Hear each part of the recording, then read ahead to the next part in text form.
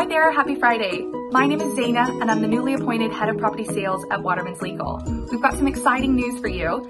Watermans Legal will be joining the Edinburgh Proactive Property Group, nicknamed EPPG, and today we're, we are launching our first blog article of 2021. The blog article is called Staying Two Steps Ahead, and what we're going to be covering is a full recap of what the Scottish property market was like in 2020, the reason the firms joined together in this proactive property group, and also giving you our predictions on what the Scottish property market has in store for this year.